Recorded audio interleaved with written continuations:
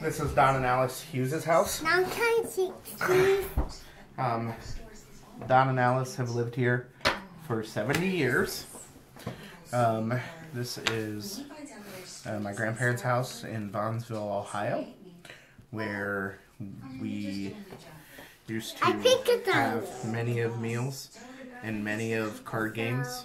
Um, and uh, I have nothing but positive memories of this place. so I'm I thought I would everybody. Okay.